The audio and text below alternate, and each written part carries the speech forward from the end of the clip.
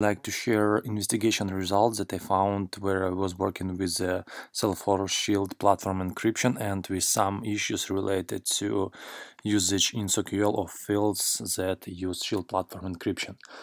So if we use in Salesforce Shield platform encryption, we should know that there are two ways for us to encrypt data. One of them is probabilistic encryption, so the idea of this encryption is in the following, that this type of encryption use randomness in the encryption algorithm. So when, for example, we are trying to encrypt the same text several times, it will in general, you know, like give us different kind of results. So because of that, we could not really search or perform any kind of SQL operation based on the fields encrypted this way. So also in the Salesforce we have different type of encryption. It's deterministic encryption. So it allows us to use filtering in Salesforce even if the field is, is encrypted. So if you will need to have additional details, you will be able to pause this video and check information related to deterministic encryption and the actual initialization vector that is used for this type of encryption. But please note that uh, for these deterministic encryptions there are two types. One of them is uh, case sensitive and another one is case insensitive so we will be able to see them a little bit later but basics that you should know that uh, for example if you use case sensitive then uh, for example this value and this value there will be two unique values so they will be not the same in terms of the search um, so in Salesforce, from where you could set up uh, encryption, uh, it's platform encryption chapter in the sidebar.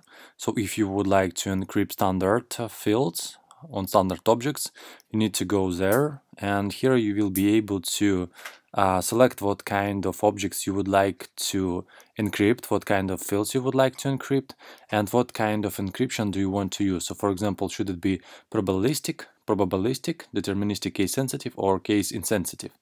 If you could not see those possible values here, what you need to do is first of all, you need to go to the key management section and in the drop down that you will see, you will need to select uh, first of all generation of the key. So that means that initially you should generate at least one key for your organization and after that you will uh, be able to see an option to create deterministic encryption key. For some reason this section loading slow. But uh, anyway, once it's done, once you created a key, you will be able to set up this additional deterministic encryption key here, so it will be separate one. And after that, when you will go to encryption policy, you will see this additional deterministic encryption option. So for them purpose, uh, I created, let me go to the object manager, custom object, these different kind of fields that allowed me to test how it in general works and what should be done, how it could be set.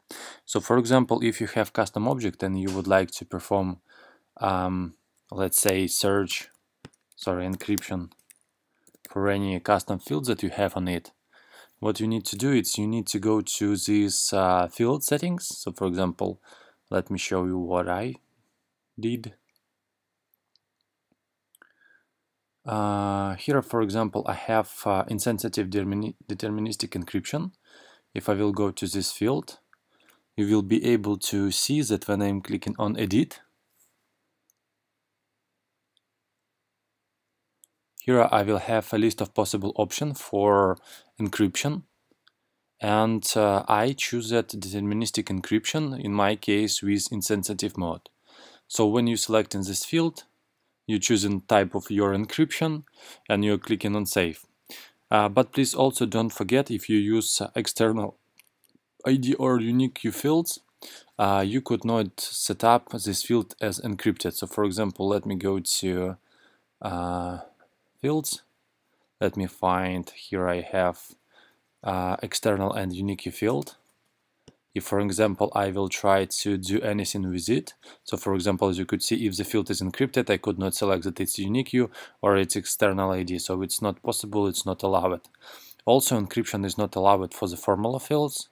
So if you will go to the formula we will click edit.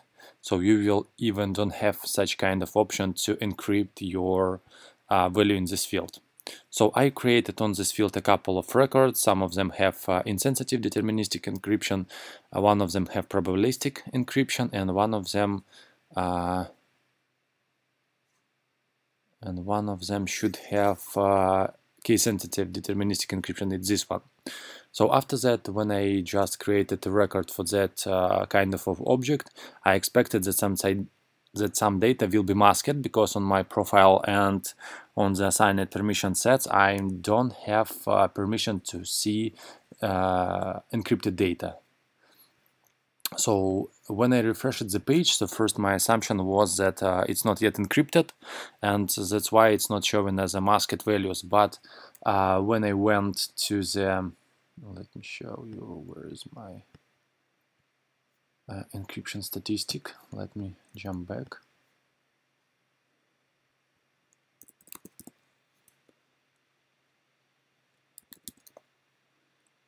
Platform encryption. If I will go to the encryption statistic, statistics, I will be able to see that I have at this moment only one record on this uh, custom object and it's already was encrypted for each of fields that I have. So for example, probabilistic encryption, external unique field was uh, set, but in general it's not uh, in real life external and unique as you remember, and insensitive deterministic encryption. So all of these uh, fields were encrypted, but why it's not uh, under the mask? if I don't have permissions to see encrypted data. I started to Google for that problem and what I was able to find that view encrypted data permission uh, not need with uh, Salesforce platform encryption.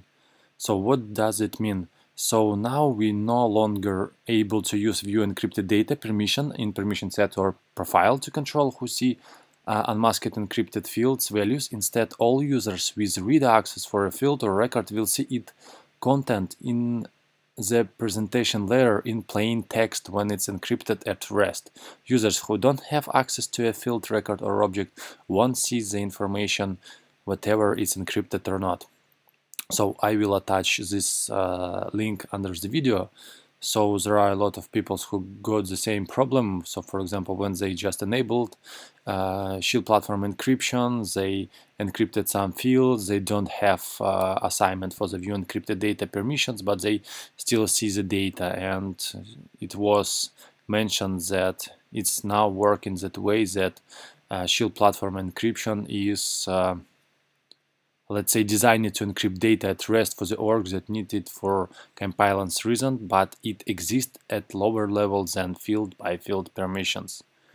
So that's how it works. So let me show you um, the problem that, for example, uh, was solved with this, this deterministic encryption. So for example, let me copy one select of the object that I just created. So for example, it's insensitive deterministic encryption. So as you could see at this moment, for example, I am looking for this field value. So if, for example, I will change the first letter of this to something else, then it's capital letter, you could see that result it's still uh, here, it was found. But if I, I, for example, will use deterministic encryption with case-sensitive decryption, uh, encryption, and we'll try to search it. So, for example, you could see this first later here. Lowercase let me make it as it is and let me try to search it. You could see I could not find it. And if I for example use probabilistic encryption what I will be able to get it's when I'm trying to perform a SOQL query. Let me just refresh my console. When I'm trying to execute it for I'm I am always getting its error that we have invalid field, we could not run any SQL query on this field, so it's not working. So if for any reason you need to use encryption and you need to be able to perform SQL queries based on this field, what you need to use is you uh, need to use deterministic encryption. But in your case, you need to decide, should it be uh, case sensitive or case insensitive uh, type of encryption. So at this moment that's all. Thank you for your attention and bye bye.